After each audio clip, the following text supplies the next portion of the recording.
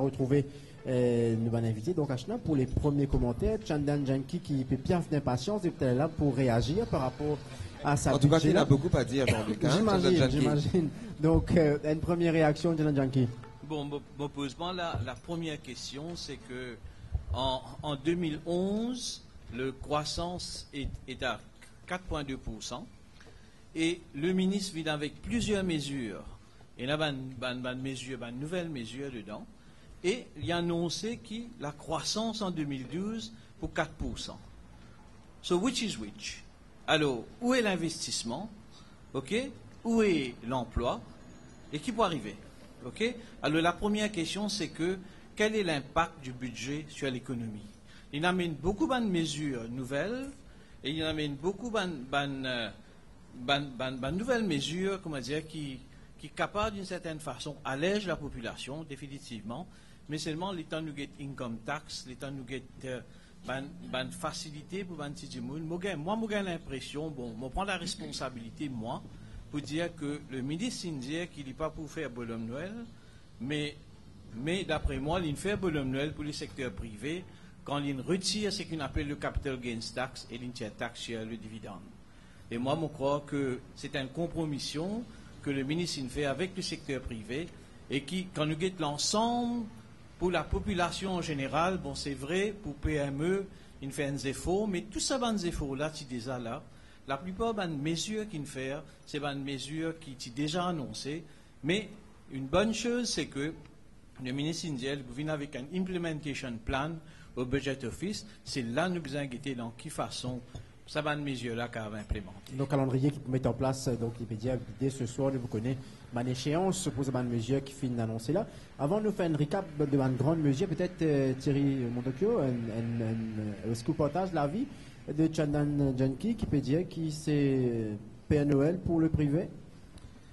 Euh, pas, pas spécialement. Moi, je pense que le, le retrait euh, des taxes sur, sur les, sur les dividendes et sur le, le capital gain, ça ne représentait pas énormément de revenus.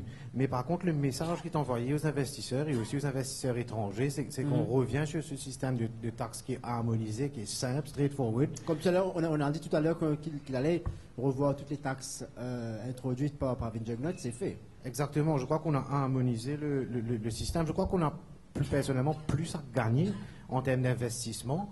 Euh, je suis pas sûr que cette taxe de 10% allait ramener spécialement beaucoup de revenus. Mais là, le message est beaucoup plus clair. Le- on, on essaie de stimuler la croissance, l'investissement par, par un, un système de taxes. On revient comme, comme l'année d'avant, finalement. Euh, Mr. Speaker, sir, this is a budget about making things happen. It is a credible plan to fight exclusion, combat absolute poverty, democratize the economy, create more jobs, bolster the confidence of businesses, and set a strong base for sustainable development. Bon, premièrement, euh, c'est un budget que moi, je pense est réaliste, qui répond, si, si vous voulez bien, aux attentes un petit peu dans, euh, de, de- de certains, de ce- certains observateurs.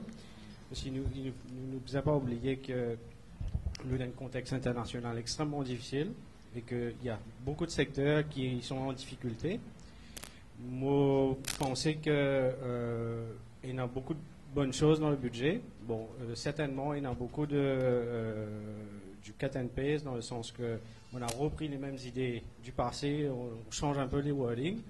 Mais en général, pour moi, euh, le budget n'a, euh, il n'est pas surprenant du tout parce qu'il y a beaucoup de choses qui ne motivent pas tellement. OK?